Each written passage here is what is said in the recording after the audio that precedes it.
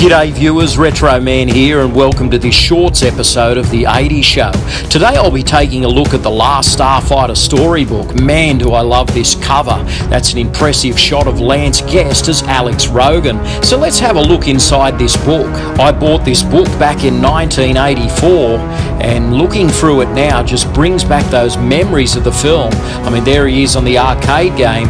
The Last Starfighter had some great special effects in its time and I think this is really a timeless film. Now, I must say, I didn't pay much for this book. I mean, I paid $1 for it back in 1984, and it was the best money that I'd ever spent.